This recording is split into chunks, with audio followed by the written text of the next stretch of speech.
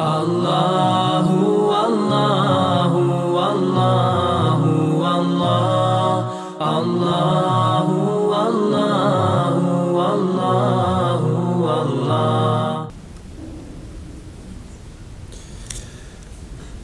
إن الحمد لله تعالى نحمده نستعينه ونستغفره ونستهديه ونعوذ به من شرور أنفسنا ومن سيئات أعمالنا من يهده الله تعالى فهو المهتد ومن يضلل فأولئك هم الخاسرون. رب اشرح لي صدري ويسر لي أمري. وأحلل عقدة من لساني يفقه قولي ثم ما بعد. اذكروا الله في أيام معدودات. فمن تعجل في يومين فلا إثم عليه ومن تأخر فلا إثم عليه لمن اتقى. واتقوا الله واعلموا أنكم إليه تحشرون. I Allaha spominjite u određenim danima, a onome ko požiru, a onome ko požuri, pa to u dva dana učini nije grijeh. Kao što nije grijeh ni onome ko još ostane ako je bogobojazan. Bojite se Allaha znajte da ćete svi pred njim sakupljeni biti. Ozkuru Allahe fi ejamim madudat. I Allaha spominjite u određenim danima u određenim danima.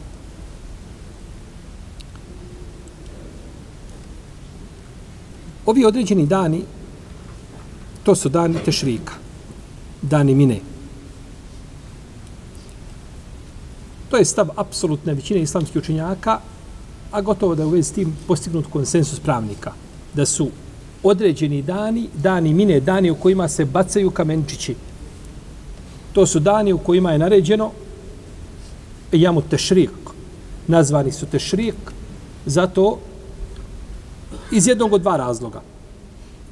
Nazvani su danima tešrika zato što se ne kolju kurbani osim nakon što sunce iziđe. Pa mi kažemo salatu šruk, je tako? Nakon što sunce iziđe. Ili su nazvani dani tešrika iz razloga što su ljudi iznosili u to vrijeme meso na sunce nakon što zakolju kurbane. Pa bi tako sušili ovaj sušili meso, što je poznato bilo kod Arapa kao kadid, kao naše suho meso. Pa bi tako čuvali meso, znači da se ne pokvari. Jer morali se imali, imati metod šta da rade sa mesom, je li tako? Da ga sačuvaju. Pa su imali znači puta i načina da ga osuše na suncu kao što ga mi sušimo na dimu, je tako? I tako se svježe meso šta ne ne pokvari, je tako? Spominjete Allaha u određenim danima, znači dani u kojima se bacaju kamen. Kaže Ibrahime Nahaj da su ovi dani, da je to deset dana Zulhidžeta. Međutim, ovo mišljenje nije jako i gotovo da oponira gotovo jednoglasnom stavu islamskih učinjaka da se radi o o danima o danima tešrika, znači to je 11. 12. i 13. Zulhidžet.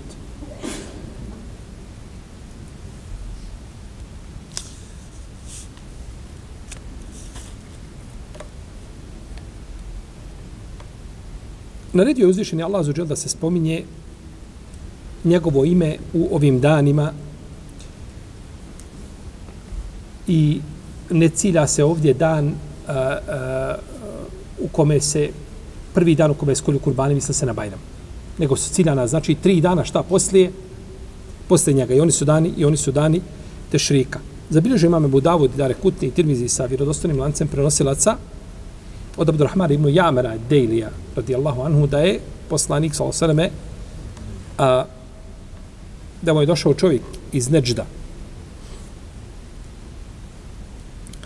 i da je dok je bio na refatu, pa su pitali poslanika, sa osaleme, pa je naredio da glasniku da obznani da je hađ arefat i ko dođe na arefat prije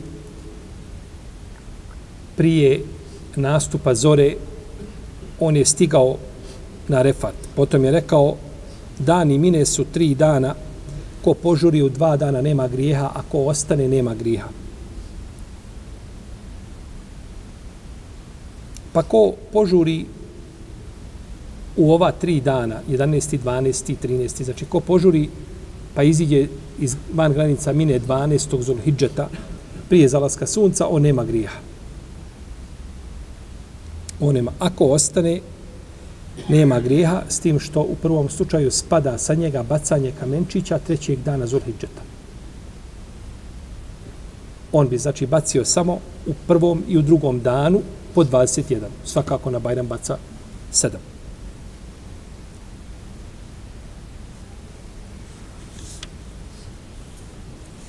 A ko bi ostao, on će upotpuniti znači bacanje. Pa ko bi požurio, on će baciti 49 kamenčića. Ako ostane, on će baciti 70. I tako Ibn Munzir navodi drugi učenjaci da se na hađu baca 70 kamenčića bez razilaženja među učenjacima. Za onoga ko upotpuni bacanje. Ako koristi olakšicu pa ode jedan dan, on a, ranije on, on baca znači 49.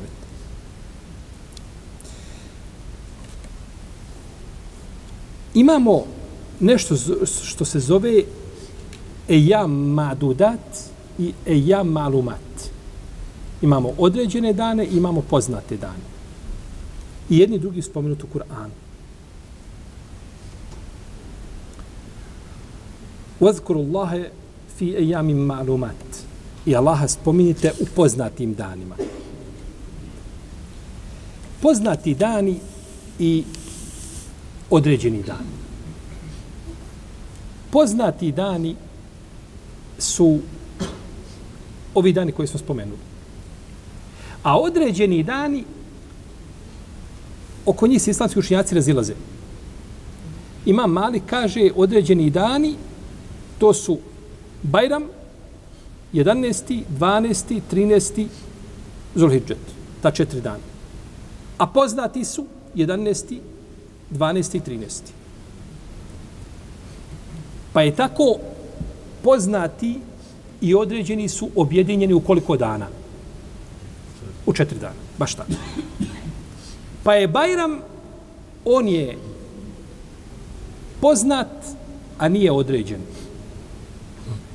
11. i 12. Zulhidžet su poznati i određeni, a 13. Zulhidžet je određen, a nije poznat. Mislimo, shodno podijeli. Nemo da ne kaže, Bajram nije poznat, čuj to. Svakako da je poznat. Međutim, u koju od ove dvije šta skupine se svrstava? Pa Bajram bio poznat, a nije šta? Određen. 11. i 12. su poznati određeni, a 13. je šta? Određena nije? Nije poznat. To je stavi mama Malika. Tako ima Malik, tumači šta ove? Ove dane to je prenosio od Ibnu Omara i od drugih. Međutim, kod imama Šafije i kod imama Ebu Hanife i drugi učenjaka, rahimehumullah, oni kažu određeni dani, odnosno ovi poznati dani, oni su, kaže, od početka Zulhidžeta. Oni su od početka šta? Zul, Zulhidžeta. Prvi Zulhidžet pa do Bajrama.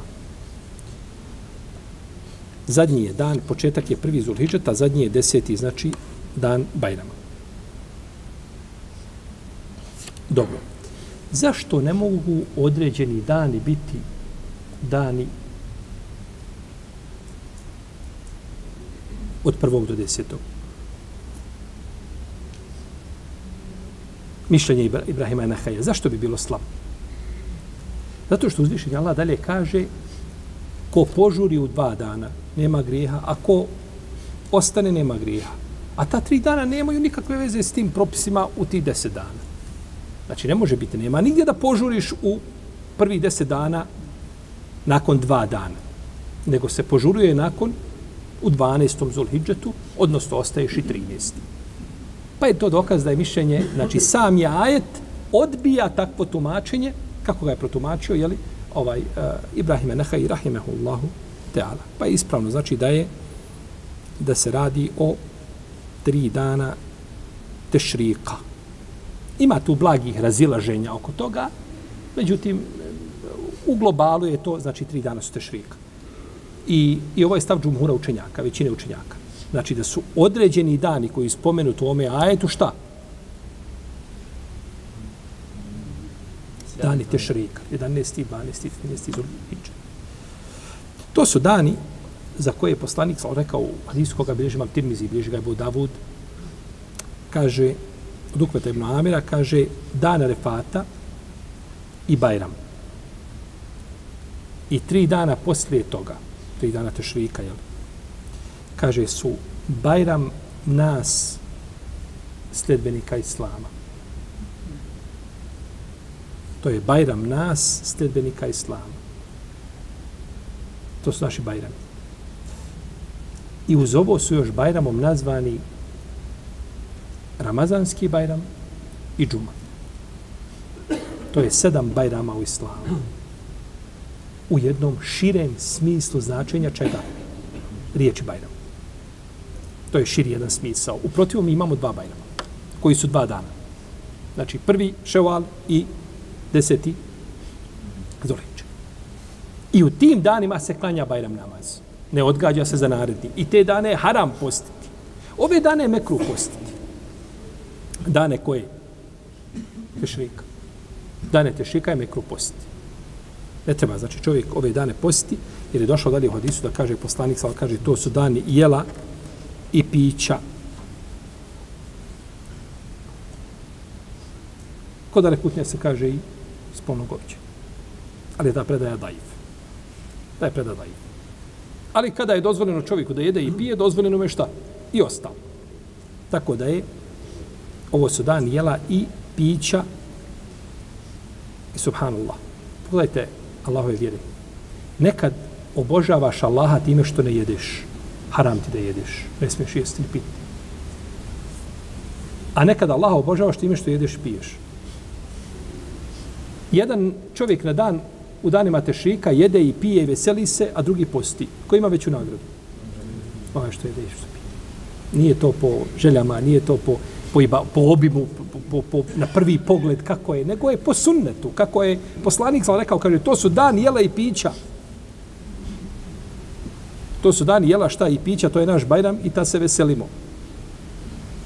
Pa sve ima svoje znači mjesto. I najispravnije onako kako je rekao Resulullah sallallahu alaihi wa alaihi wa sallam. A, došlo je u hadisu kod imama Ahmeda, sirodostojim lancem prenosilaca od Ebu Hureyre, da je poslanik sa osanem rekao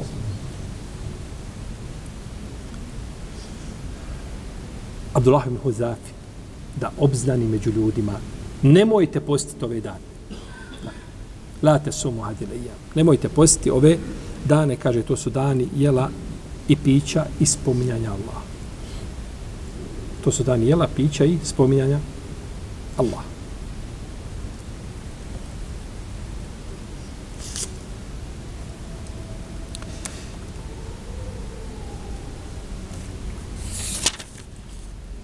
Dobro. Ovaj ajet u kome uzvišeni Allah zađe naređuje vozkorullahe fi ejamim madudat. Allaha spominjete u određenim danima odnosi se prvenstveno na hađiju. Na hađiju da donosi tekbire prilikom bacanja kamenčića.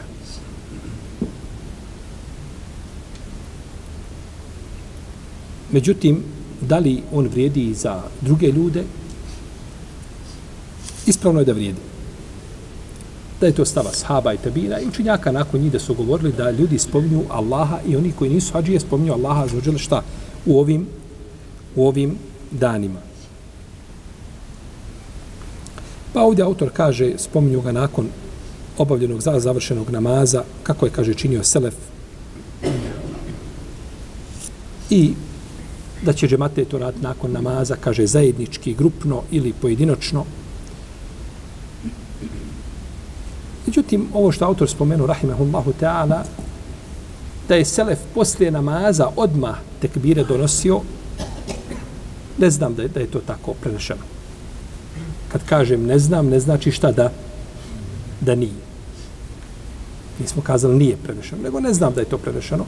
A među nama su prisutne i hadijske zbirke i ovaj, jel tako, jela koja zabilježe postupke Selefa, da su odmah posle namaza ovaj, na danima, u danima tešrika donosili tekbire, a ostavili zikr posle namaza, ne znam da je to tako prenešeno.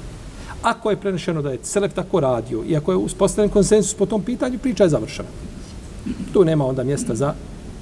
U protivnom, posle namaza je preče zikriti. Ali koliko sjećam da imam, imam Ibn Abdelber da je negdje spomenuo konsensus već s tim. Da se posle namaza donose... E sad, je li posle namaza odmah posle salama ili posle zikra? Allah, ono što je došlo da je da se posle namaza zikri. A da se tu zikr pomjera i da se stavlja tekbir, kao što je običaj danas, kod, uglavnom kod muslimana, da li ima za to dokaz, to treba dobro ispitati i provjeriti. Meni nije poznat dokaz da ima nešto znači što bi moglo ukazati da bi se pomjerio zikr i da se namjesto njega stavi šta? Mislimo zikr posle namaza i da se stavi zikr koji je vezan za jeli, dane, dane Bajram. U svakom slučaju, ovi dani su dani jela i pića i spominjanja uzvišnog Allaha, kako je rekao poslanik sa osaname, i nije to ograničio na posebno vrijeme. I nije to ograničio šta na posebno vrijeme. Pa posle ezana, kada je bezan proučili u tom danu, nećemo donositi tekbire, nego ćemo šta proučiti? Ezansku? Dobro. Tako i posle namaza ćemo proučiti zikr. Međutim, ako je zaista uspostavljen taj konsensus koga je spomenuo imam Ibn Abdelber, e onda je gotovo, priča se završava tu. Da tu više ovaj nema, jer ulema se neće složiti na nečemu što je šta. Što je neispravno. Iako ovaj a, konsensus učenjaka, kad spominju pravnici, to uglavnom ide linijom Ibn Munzir, Ibn Abdul Bar, imam Ibn Kudame, imam Neovi. To ide tom linijom. I taj konsensus zna često biti upit. Konsensus se spomene, a ponekad se misli na apsolutnu većinu učenjaka, a ne misli se na stvarni konsensus, da je to, je tako, da, da niko nije kazao suprotno tome. Pa, e, ostaje da je donošenje tekbira, znači u ome vremenu, pohvalno. Dobro, od kad se donose tekbiri? Imamo tu mišljenje Ali ibn Abi Taliba radijallahu ta'ala anhu i Omar ibn Khattaba i, i ibn Abbasa da to da tekbiri se počinju donositi od ujutro od, od dana refata. I smo ih spominjali kada su sahabi kretali sa refata da bi neki donosili tekbire, da bi neki učili telbiju pa da ovi nisu osuđivali ove, ovi. Jesmo spominjali to? Možda i nismo. Nismo mogli sve, ja nisam htio, nisam htio namjerno da ostajemo dugo vezano, za, mi smo mogli ostati najmanje 20 predavanja vezane za hač. Puno bi oduljeno. Pa smo htio da, da ograničimo, da se ograničimo na ono na šta ajet, znači na šta ukazuju ajeti direktno, i možda neko, nešto što se indirektno toga tiče. U protivno da smo govorili o obredima hađa, ostali bi jako dugo, jer su obredi hađa ovaj, a, široki, ima dosta razilaženja u vezi s tim, pa, pa bi se moglo o tome puno pričati. Uglavnom, tekbiri se počinju donositi kada? Ujutro, na dan Arefat. Koji je to Zulhidžet? Deveti. Deveti Zulhidžet.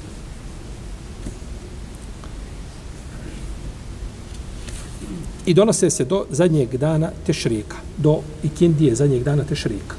To je 13. Zulhidžet. Znači imamo 9., 10., 11., 12. i 13. do ikindije. Donose se, znači, ovi tekbiri. Kaže imam Ebu Hanife, a prije njega Ibn Saud radijallahu anhu, donose se tekbiri ujutro od dana refata do sutradan do, do, do ikindije, na dan čega? Bajrama. Dana refata i dan Bajrama. Dok su kazali Ebu Jusif Muhammed suprotno tome, oni su podržali znači stav većine islamskih učenjaka i stav Omara ibn Abbas i Ali, koga smo spomenuli prethodno, da se to donosi do trećeg dana šta? Tešrik. Imam Mali kaže, donosi se od na dan Bajrama od podne. Na dan Bajrama od podne. Do zadnjeg dana Tešrika. I to je miša imama Šafija.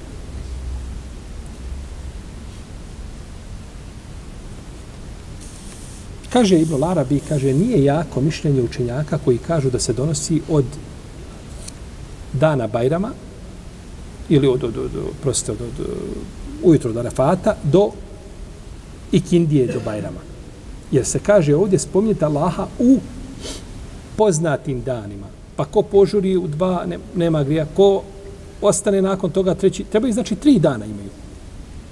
A ovdje imaju samo šta? Dva dana. Pa nije upotpunjeno. Nije upotpunjeno. Znači broj koji je spomenut šta? U, u ajetu. Ciljajući time na čije mišljenje? Imam Ebu Hanife i ima Ibn Mesouda, je tako? Koji se prenosi od njih. Rahimehumullah.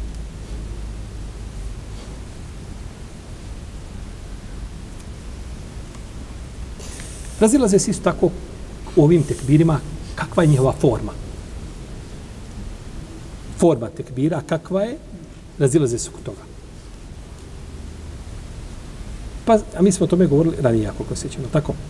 Pričali smo o tekbirima, o Ibnu Abbas, o, o, o, ovaj, o spomenu su tekbire koje je Ibnu, Ibnu Mesaud učio i o tome smo, znači, ranije nekada govorili. Femen ta'ađele fi umeni fela isme alejhi. Ko požuri nakon dva dana nema grija.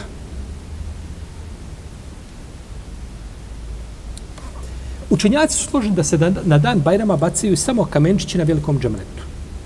Znači, nakon što ljudi završe sa nefatom, ađije, dođu na muzdelifu, proborave noć, dolaze to ujutro, dolaze do velikog džemreta i samo na tom jednom mjestu bacaju džemrete. Danas obično ove druge džemrete biju zatvorene nečim su ograđeni tako da ljudi prolaze pored, znači znaju nema, ne vide to nikoga i prolaze, ide, idu do zadnjeg, do zadnjeg džemreta, velikog džemreta, znači koje je najdalje o, ovaj od središta mine, ako možemo tako kazati, ili od mine, iako to pripada mini, a najbliže je čemu? Haremu ili Mekki. A, nije poslanik, sal na, na Bajram bacio osim na tom mjestu sedam kamenčića. Vrijeme bacanja kamenčića na velikom džemretu na Bajram jeste nakon izlaska sunca do njegovog ulaska u zenit. Znači, od ujutro do podne. Od ujutro, mislimo, od ujutro nakon izlaska, ili nakon izlaska sunca. Isto tako se ne razilaze da je vrijeme bacanja u danima tešrika od nastupa podnevskog vremena da sto odabrana vremena za bacanje. Nakon izlaska sunca prvi dan na Bajram i ostala tri dana nakon čega? Što sunce iziđe iz zenita. Znači nakon što nastupi šta podnevsko, podnevsko vrijeme. Međutim, razilaze se ko bi bacio prije zore. Dođe čovjek prije zore, otišao ranije sa muzdalife i baci kamenčiće šta? prije. Pa kažu ima Malik, Ebu Hanife i Ahmed i Ishak da je to dozvoljeno. Iako to bacio, iako bacio kamenčiće prije, znači nastupa, prije izlaska sunca. Oni kažu dozvoljeno je baciti nakon nastupa zore, a prije izlaska sunca. Ali se ne smiju baciti kamenčići šta prije zore. Prije se zore ne smiju bacati kod većine učinjaka, A ako se baci posle zore, a prije izlaska sunca, kažu, neće smetiti. Neće smetiti. Kaže ima Malik, nije nam došao od poslanika, sam sam da je dozvolio ikome da baca kamenčiće prije nastupa zore. Misli se na pravu zoru, je li svaka? Niti je dozvoljeno baciti prije tog vremena, a kaže ko baci treba ponoviti bacanje. Ko bi bacio prije zore, treba šta? Ponoviti bacanje kamenčića.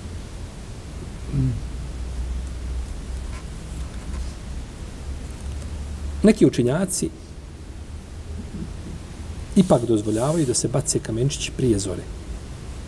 Kažu da Esma radijallahu ta'ala anha došla sa muzdelife ranije, kako došlo da je budao da se rodostanim lancem prenosilaca, i da je došla, bacila kamenčiće po noći. I kazala je ovako smo činili vrijeme poslanika sa osam. Ovako smo činili vrijeme poslanika, sallallahu alaihi wa sallam. Njoj je dozvolio poslanik, da ranije, znači, ode. Ima jedan dio učenjaka koji kažu da bi se moglo u to vrijeme baciti. A ima učenjaka koji kažu ne može se bacati kamenčići do, na, do izlaska sunca. Kada? Koji dan? Na Bajram. Govorimo o bacanju kamenčića na velikom džemretu na Bajram kada se baca samo taj dan sedam kamenčića. A, kažu Mujahid i Nehaj i Seuri, tako je spomenuo autor, a to je mišljenje isto tako je Buseura i Tausa, i Hazma i drugi učenjaka, da se ne može baciti do, do izlaska sunca. Znači ti kad dođeš ranije na džemreta, možeš, možeš krenuti ranije sa, sa Muzdalife. Sodno mišljenje, tako i Šafija i Malikija što, i Hanbelija što smo ranije spominjali, ali ne možeš bacati prije čega? Prije izlaska sunca. Ne možeš bacati prije izlaska sunca. Kaže autor, dokaz ovih učenjaka je to što je poslanik sa bacio nakon izlaska sunca i rekao je uzmite od mene obrede hađa. Pa je bacio kada? Pa bi ovdje postupak bio da se sledi u postupku vađib, obaveza. A mi znamo da je slediti poslanika sa osvijem u postupcima sunnet, nije vađib. Za vađib mora biti naredba. Osim ako bi ta, taj postupak bio praktična primjena opće naredbe. To je onda drugo. Kažu, to je ovdje. Uzmite od nas obrede, ha, uzmite od mene, kaže, obrede hađa, pa su nakon toga šta? Bacio je kamenčiće u to vrijeme. Međutim, ovo dokazivanje je problematično. Jer dokazati ovako, znači svaki postupak poslanika sa osobi će šta?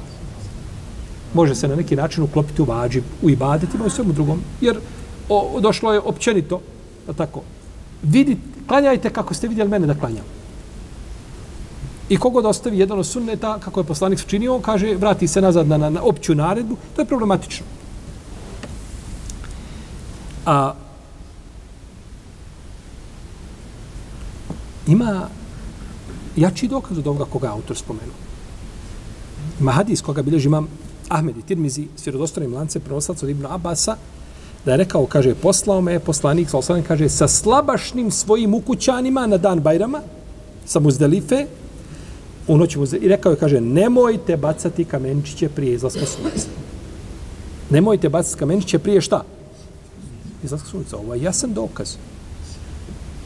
Ovo što je pred, autor što je spomenuo, ovo je općenit argument. Može on s jednog aspekta posmatrano posluš kao dokaz, međutim, ovo je puno jači argument.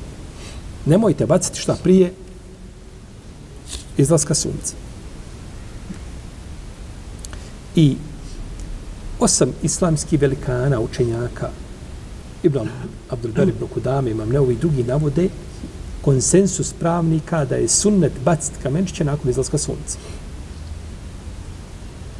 Međutim, Ibn Munzir kaže, ovaj, nije niko kazao da ako se bace posle ovoga sabaha, da treba ponoviti bacanje i tako dalje.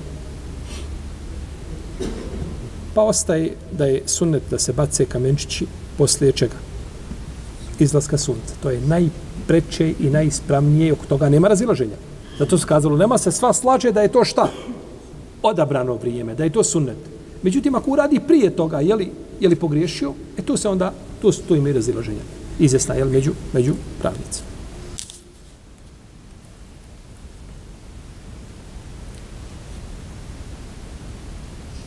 Došao da je poslanik, sal sam u hadisu, navodi koji ima različite lance prenoslaca, neki su mursel, neki su spojeni i tako dalje, da ne redi umu selemi da ide i da osvane u Mekki. Ako osvane u Mekki, onda mora kamenčiće baciti kada? Po noći. Jer osvanut će kada? Kada čovjek osvane? Kada kaže osvanuo sam? Kada su zor. Ne možeš kaži osvanuo sam u tri ujutru. I nisu osvanuo još. Osvanut ćeš kada zora nastupi. Znači, ako će ona dočekati zoru u Meki, treba Abbas kamenić kada? Prije, definitivno prije zore. Međutim, oko ovoga rivajta postoje razloženja među islamskim učenjacima. I došlo je kod imama Ebu Davuda, da je od Aisha radijallahu ta'ala kaže poslao je poslanik sa u Selemu u oči Bajrama. Pa je bacila, kaže, na džemretama kamenčiće prije zore. Potom je, kaže, otišla, obavila tavafu li fada. E, ovo je vjerodostojan rivajet.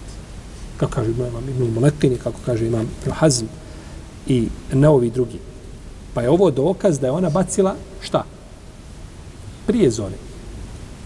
Pa kaza da bacanje prije zore nije ispravno je šta? Bilo bi problematično. Da nije ispravno. Znači nikako, ni u kom slučaju. Jer imamo dokaze koji ukazuju suprotno. Međutim, sunnet je šta?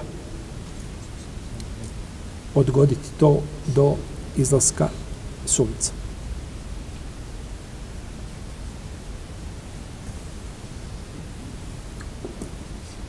Do, naravno, do, jeli, do nastupa podnevskog vremena. A, islamski učenjaci su složni ako bi bacio ove kamenčiće do prije zalaska sunca da izvršio svoju obavezu. I da nije dužan iskupljivati se, nema nikakvu sankciju ne zaslužuje.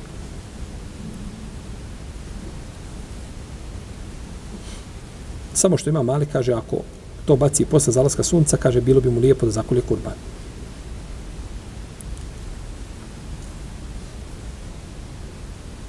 Kao što se razilaze, znači, nakon toga, ako ga baci, baci te kamenčiće nakon zalaska sunca, kakav je propis?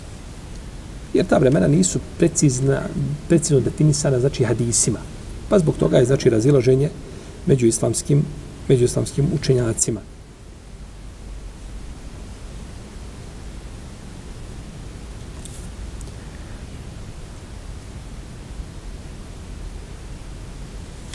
Došlo u hadisu da je čovjek rekao poslaniku, sal sam kaže, nisam bacio dok nisam omrknuo.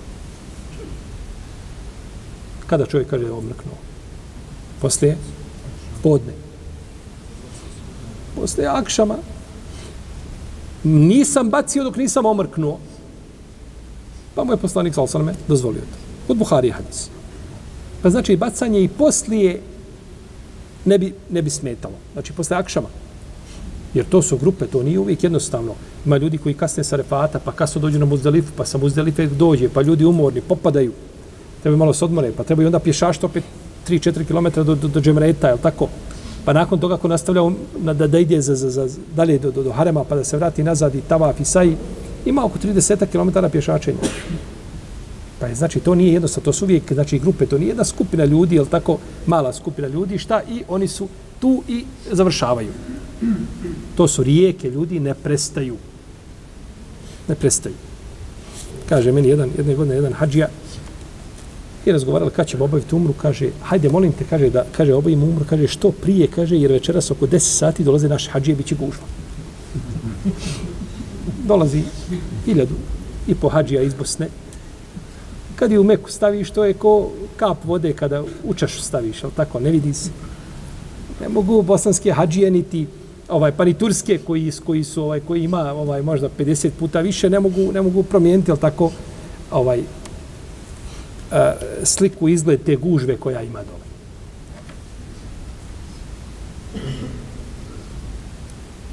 Kada prođu dani te šrika, 11. 12. 13. Zulhidžet, prekida vrijeme čega?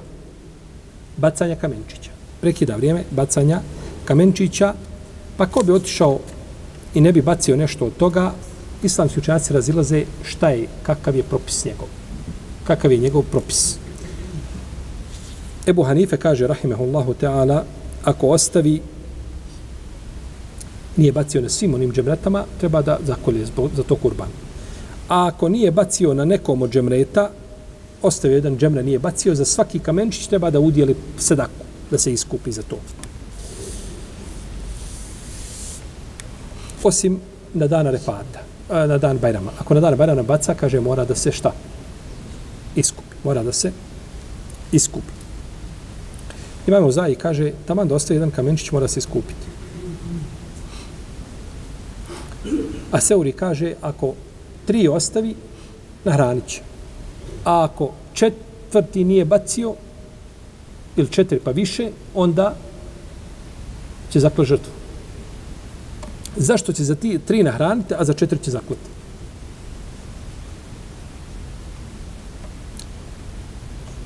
Zato što je, znači, on većinu kamenčića nije bacio. Tri je, tri je ostavio.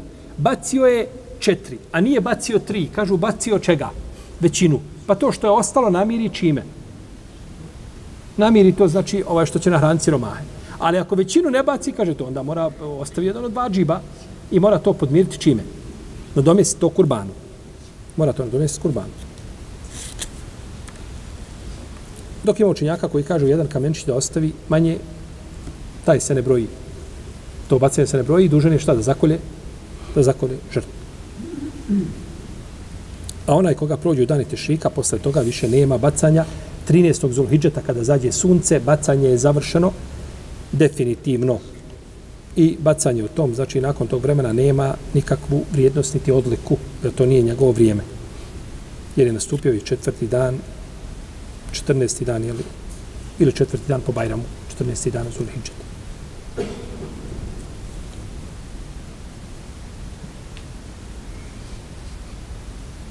Mora čovjek boraviti na mini. Mora se proboraviti, noći se moraju boraviti na mini. Po danu može čovjek otići da ode u harem da klanja, nije problem, iako je bolje da ostane na mini. Ali nije problem da ode do harema, da iziđe, da ode da nešto kupi pa da se vrati, nije problem, ali mora noć proboraviti, u, odnosno mora većinu noći mora proboraviti na mini. Mora većinu noći proboraviti na mini. Jer na mini imamo po danu se bacaju kamenčići, a noć se boravi. Noć je za boravak, a dan je za bacanje šta? Kamenčića. I jedno i drugo je bađib. I jedno i drugo je vađib.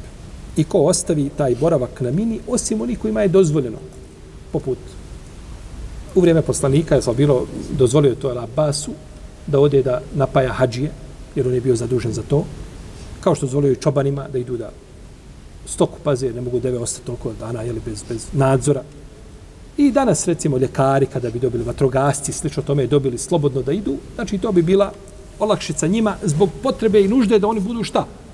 Prisutni, jel tako? A, u protivnom, treba boraviti na mini.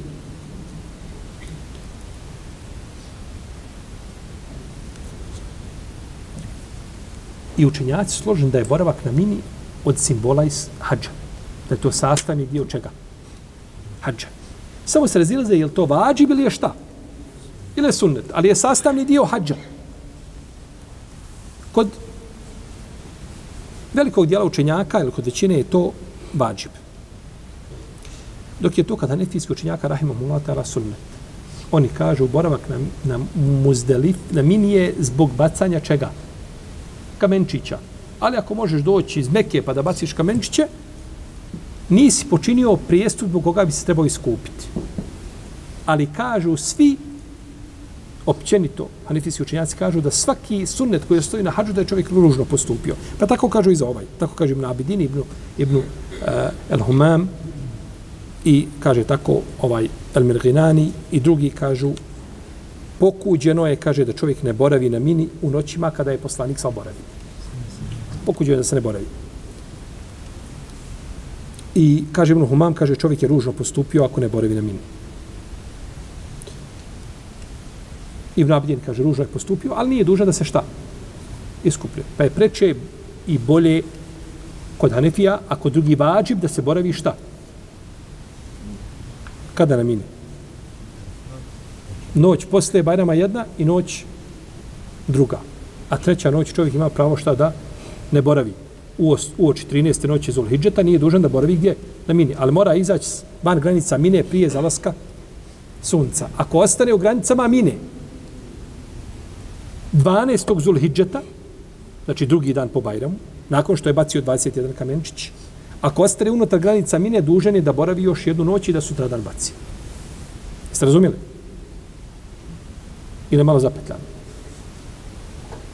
Mi ćemo morati ovako džemat ili jedan put obaviti hači svi zajedno pa da šal. Znači, baca na dan Bajrama hađija koliko kamenčića? Sedam. Na kom džemretu? Na velikom džemretu, zadnjem džemretu. Kad se dolazi sa mine, to bude zadnje džemre. Sutradan, dan posle Bajrama, 11. Zulhidžet, baca na prvom sedam, to je mali, posle toga na srednjem 7 i posle toga na velikom 7. Ukupno 21 na tom mjestu toga dana baca. Samo je podijeljen na 3 po 7. Prvi koji je najbliži Mesčidul Hajfu, kad se dolazi iz Mine, potom dolazi srednji i potom dolazi veliki koji je najbliži Mekki. Pa baca to. I sutradan 12. Zulhidžeta isto.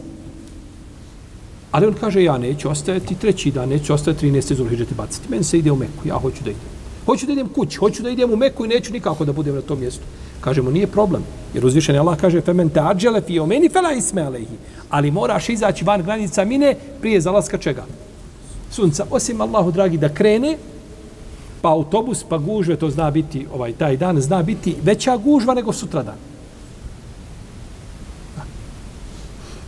i autobus je blokirao put, ne može izaći, nije više do njega, nema smetnje. Jer to sve što nije do čovjeka, e, ne obavezuje se on što nije bilo njegovim izborom. Međutim, on je došao posle Kamenčića, kaže, neka, ostaćemo mi do predakšam. Ostaćemo do, ospavat ćemo, ne poručati, imamo i ručak besplatan i sve je to. I onda on krene nekada pred sam jakšem i ne može izaći, kažemo, vrat se nazad u šator i boravi i sutradan baci jer si svojom krivicom ostao šta. Ti si bio dužan da se odmah spakuješ i da kreneš, znači da iziđeš van van mine. Nekada davno su ljudi kretali tako drugog dana po Bajramu, to je koji Zulhidžet. 12. Zulhidžet. Bacaju, i ali sino se sa svom torbe. I ja sam ko student jedne godine krenuo i tako torbu, sa sobom veliku torbu imao na leđa i dole. I kada smo upali u džemrete, znači da bacimo ovaj ostalo je samo šehade da doneseš vidiš smrt pred očima. Više tu nema ni, ni, ni, ni snage, više tu nema ni nekakvi fizički spo, nema niko ko je fizički sposoban. Tu su svi kao, kao list, onaj suhi, kada se vjetar sa njim igra. Kad naiđe znači, ovaj bal, samo te, znači, pokosi i nemate. Jedan je hađija pao jedne godine na, na leđa pao. I kaže ništa, samo, samo šahada iz gurca, gotovo. I na tebi je 30 ljudi. I od tih 30, ode drugi 30 dolazi svježa snaga. Da te dokrajče. Ne, nema više ništa. Dok jedan, kaže, nije ga vidio i kriknuo kako je napravio ne, malo prostore i izvukao vodozda. To je samo Allahova volja i da, da, u protivnom da padneš da padneš na stomak, ne možeš, ne možeš se odpred da, da se digneš više, a kamo na leđe padneš. Pa je tako u tom danu, u tom danu i ranije našto na, na, na dan Bajrama je po 200-300 ljudi ginulo na tom mjestu, hvala Allah, ti su problemi sada riješeni ovaj novim ovim ovim uređenjem i, i gradnjom ovih ovih E, džemreta ili na spratove i tako dalje, to je riješio taj problem i hvala Bogu, to je isključena ta mogućnost. Ovaj ne, ne vjerujem da se rijetko kad možda da je neko star i da tu padne i tako dalje, u protivno zbog gužve da neko pogine, sumnjam da se tako nešto dešava, osim rijeđe nego rihtu. Pa ima pravo, znači, da iziđe šta? van granica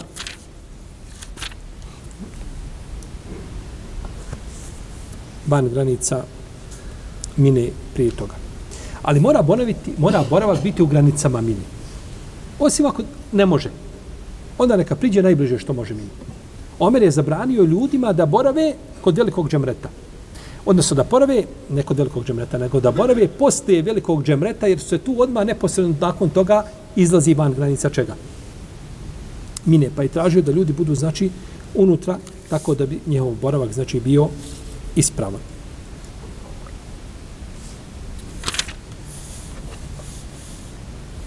Allahov poslanik bacao je kamenčiće na dan Bajrama na Jahalici. Bio je na devi. I ima učenjaka koji kažu da je sunet bacati kako je poslanik tavafio na devi ili hodao izme Safe i Merve na devi. Toga danas nema više, naravno, tako. Pa nema potrebno ispominjati šta te propise. Šta spominjete devu, molim te. Ko danas baca na... Možeš ti opće devom prići dole, ti ideš među ljudima da bacaš. Što spominjete devu? Ne, ne spominje se deva zbog deve. Spominje se propis čega? Da li čovjeka mogu nositi da baca kamenčiće? Jel u redu? Šta možemo zaključiti iz ovoga što je poslanik sa bacao kamenčiće s deve? Jahajući, jašući. Možemo zaključiti da ne moraju noge biti na tlu prilikom čega? Bacaj.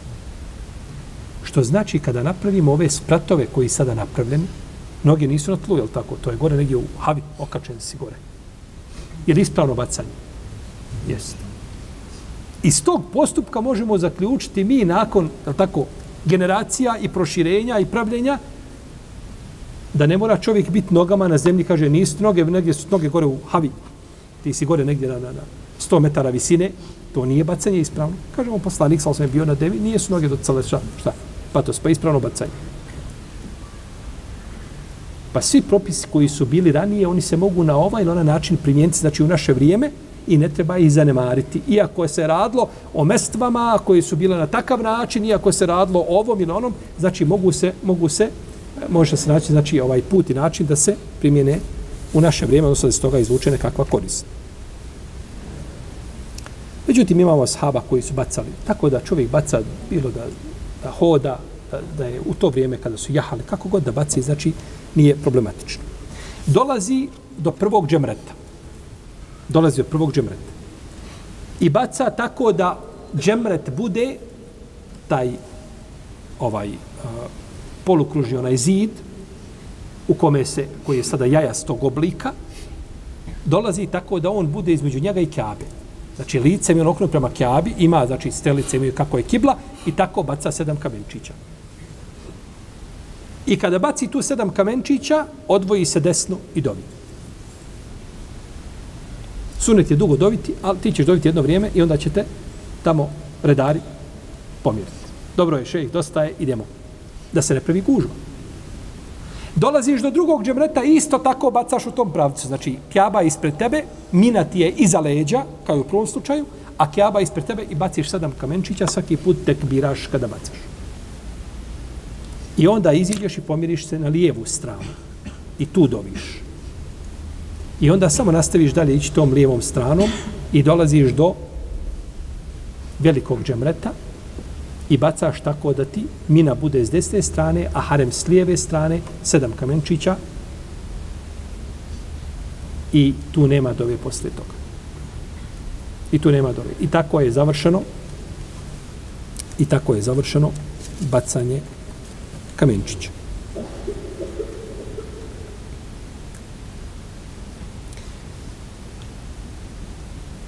na, na dane tešrika je najpreće da na, na dane tešrika je najpreće bacati kamenčiće poslije podne, nakon nastupa podnevskog vremena. Nakon nastupa čega? Podnevskog vremena. Jer Ibn Omar kaže, čekali smo podnevsko vrijeme da bacimo. Došao mu je čovjek, kaže, kad se bacio, kaže Kamenčić Ibn Omaru, u danima tešrika. Kaže, baci kad baca tvoj imam. Koga slijediš, s kim si došao, kaže, baciš kad on baci. Imam vođa koji je bio, on je držao i hutpu, i na mini, i na refatu, i tako dalje. A Ibn Omer znao da ovaj slijedi Abdullah ibn Zubeira. Abdullah ibn Zubeir je bio mišljen da je dozvoljeno baciti prije zevala. Ali ovaj što ga je pitao bio mudar. Pa kaže, reci ti meni, kaže, kada je bacio poslanik sa osam? Kaže, bacio posle podne. Bacio posle podne. Ali on nije htio da pravi šta? Razdor. To je pitanje, ali tako? Nije poslanik sa rekao da je zabranio, nego je čekao da nastupi podnesko vrijeme, pa bi... I to je najbolje. I to je najbolje. Međutim, danas je to opet određeno po zonama. Imaš napisano sada u, u svakom tom terminalu, tamo unutra dođeš pred izlaz i napisano ti ovaj terminal izlazi u toliko i toliko sati i baca. I toga se dužno zdržati. Dužno se toga držati zato što jednostavno nema reda. Biće nered. Biće nered. U protivnom, bacanje počinje poslije šta? podne. Nema smetje da čovjek krene ranije, ali da gleda da je dole u podnevsko vrijeme, ezan se dobro čuje, znači iz džamije El Hajf, i počinje bacati kamenčiće nakon nastupa čega? Podnevskog vremena.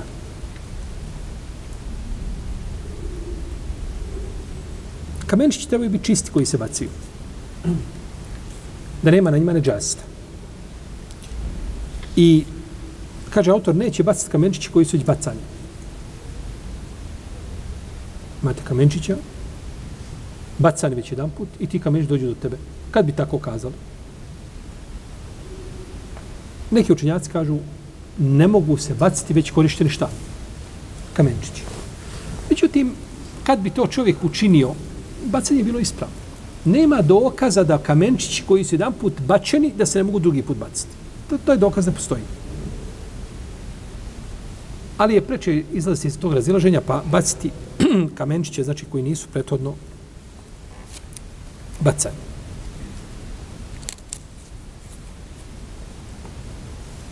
Neki učenjaci kažu lijepo je kamenčić ude sa muzdelife.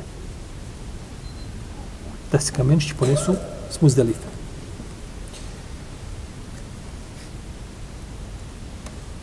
Kaže autor, a kamenčić koji ostanu, treba ih, kaže, a, treba ih pokopati i ne treba ih baciti. I to je pripisao imamu Ahmedu. Kamenčić koji su ostali, trebali pokopati. Nisi ih bacio, kamenčić ostali. Nema dokaza da to treba pokopavati. Nema dokaz da to treba ukopati, niti da se to ne, da se to ne može baciti, ili da je to ovaj uh, skrnavljenje, ne znam, kamenčića koji su bili namijenjeni za bacanje mogu se baciti. Nije problem, što znači da se bace u tome, nema nikakve smetnje. Ali se neće pratiti. Znači, neće se uzimati gusul kamenčićima. A ljudi, znači, stave pa jednu vodu, pa drugu vodu, pa ga pere, pa ga čisti. To je kamenčić. I on na sebi ima prašine, ima nešto što bi ostalo rucka do dotra. Nik, nikakve smetnje nema. To se, znači, baca tako kako jeste i neće se pratiriti. To činio poslanik, sallallahu alaihi wasallam. Kaže Ibn Munzir, kaže, pokuđeno je baciti kamenčiće koji su još jedan put bačeni, ali kaže, ako baci čovjek, bit će bacanje ispravno. Jer ne znam, kaže, da je iko a, naredio da se ili zatražio ili bio stava da se trebaju baciti ponovo kamenčići ako ako su već jedan put bili bačeni, onda treba da ponoviti jeli, bacanje. Kaže, nije poslanik, sa osvijem, pravo kamenčiće To je radio samo Tavus. I nije čovjek dužan da ima abdes kad baca kamenčiće. Kamenčići su kao i saji. Kao i boravak na refatu. Za boravak na refatu ne treba abdest. Treba ti za namaz. Abdest treba za saji kod većine učenjaka. E, oprosti za tavaf. Iako i to pitanje abdesta za tavaf, i to oko toga bi se dalo naširok razglabati. Kad došlo do hadisa Ibn Abbasa i tako dalje, ovaj, hadijski stručnjaci su stava da je to sto riječi Ibn Abbas, a da nisu riječi poslanika, sa osvijem, da je šta? Da je tavaf namaz. To su riječi Ibn Abbas, nisu riječi poslanika, sallallahu alaihi wa sallam. Kod većine učenjaka se moraju baciti kamenčići, ne smije ništa drugo. Kod Ebu Hanife može i komadić suhe zemlje kad bi bio i sve drugo što je od zemlje moglo bi se baciti. Sve što je od zemlje i zemlje moglo, ne mora biti šta? Kamen, ne mora biti kamen. Može biti nešto drugo, ovaj, za razliku od većine učenjaka koji kažu, jer je poslanik sa rekao sa osam, kaže, alejkum bi hasan hazd kaže, bacite male kamenčiće, koje što oni su to imali arap običaj između prsa, stave pa da bacaju. Što je poslanik sa zabranio, kaže, time se ne može ubiti žrtva, ne možeš uloviti time zeca, ni, ni srnu. Ali kaže, možeš bratu izbiti oko ili slomiti zub. Pa sto kamenčići koji su sitni, jel tako, koji se bacaju, nisu veliki. Iako se učenjaci razilaze kolika je ta veličina. Na veliku se razilaze. Ono što najispravnije da je to poput bobe graška. Slično tome, malo veće od toga ili u, u toj, znači, u, u ovaj te veličine Ibn Omer je bacao nešto kao brabonjci od koze sitno, znači sitni kamenčići kojima ne možete ovaj o, ozlijediti čovjek kada bacite.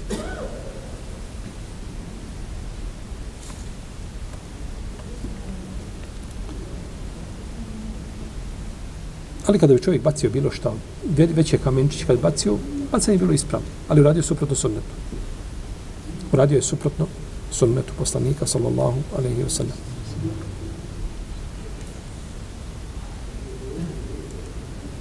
kaže a, a, Ibn Abbas, imam Nesaje, da bi zabilježio vjerodostojnoj predaj od Ibn Abbas kaže da mu je poslanik, sa rekao, kaže, na dan, kada je bacio na dan Bajrama, kada je bacao kamenčiće, kaže, daj mi, kaže, kamenčiće. Kao Hasal Haz, ove mali, sitne, kao grašak.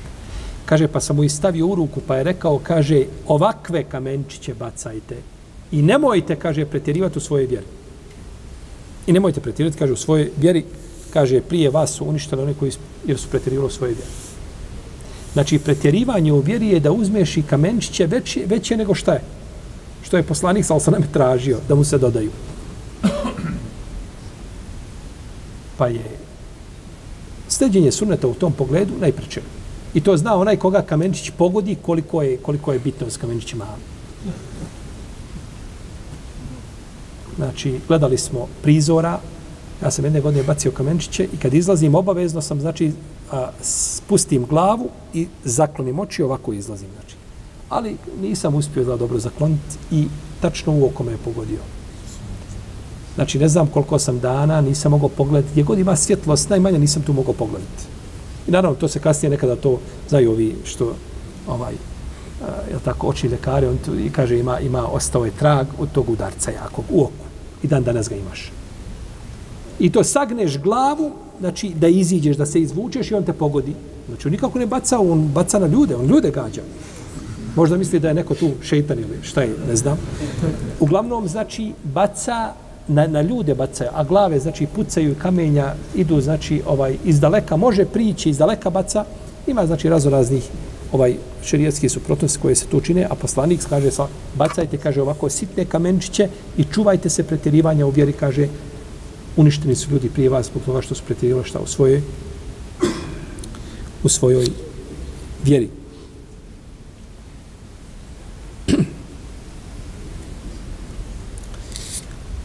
Islamski učenjaci kažu da i mora baciti ove kamenčiće po redu.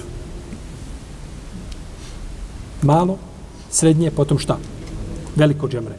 Ne može ići niti će dozvoliti redari da se ide tako da se baca. Međutim, to je jeli, pod pretpostavkom da bi čovjek bacio s velikog da bi počeo, kažu to nije to nije ispravno. I ovdje autor spominje hadis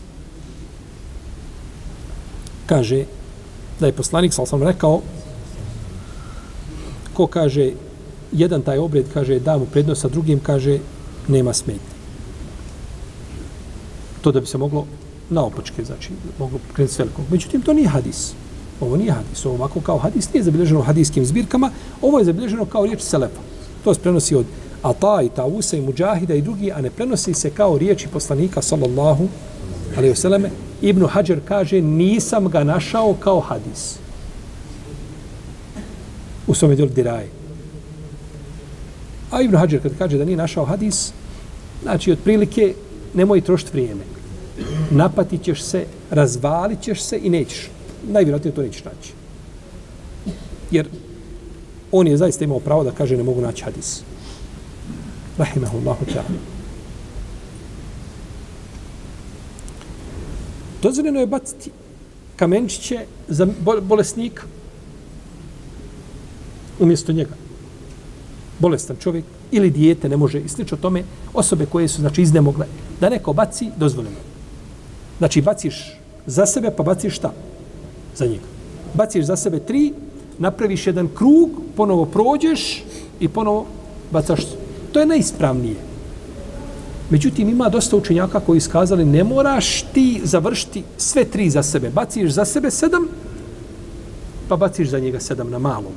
Pa ideš srednje. Za sebe sedam, pa za njega sedam. Na veliko za sebe sedam, kažu može i tako. I to je velika olakšica. Jer proći jedan krug treba ostaviti cijelu grupu.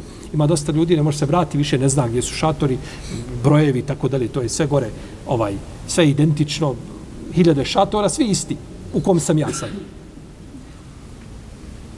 To bi bila velika olakšica. Sigurnije bi bilo baciti za sebe, pa se vrati, baciti za tu osobu. Međutim, kada bi čovjek bojao se i ne bi znao i bacio za, za sebe i za njega na isto mjesto po sedam, ne da spoji, u redu, nema spajanja. Ja bacam za sebe sedam i nije tim ja, ja sam upajio svoga babu u ti sedam. Nema toga ništa, nego moraš za sebe sedam, pa onda za babu sedam na istom šta? Na istom mjestu.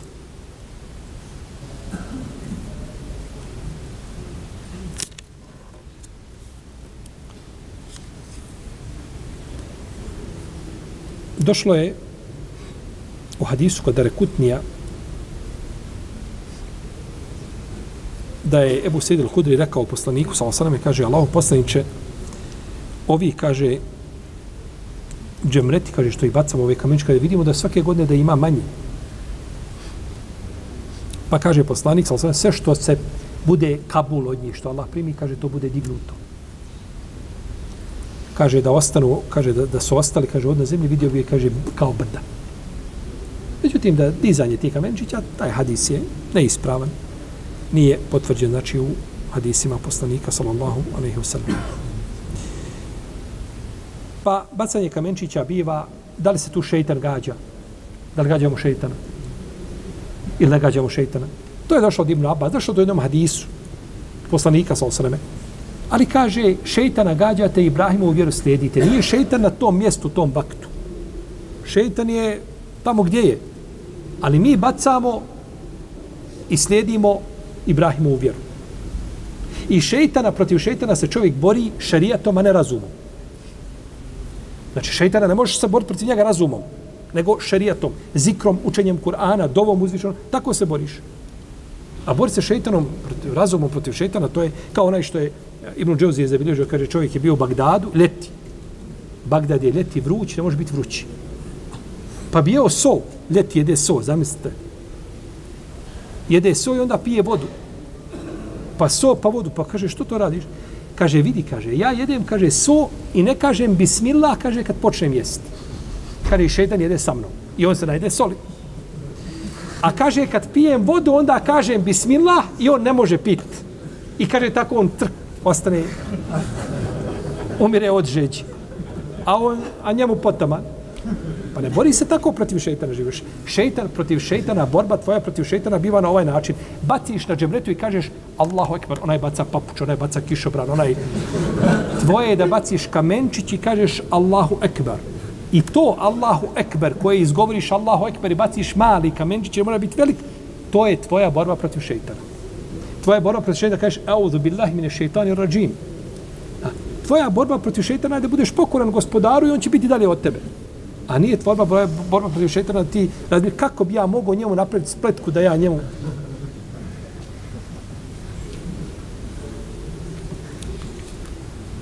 I bacanjem kamenčića se završavaju obredi hađa.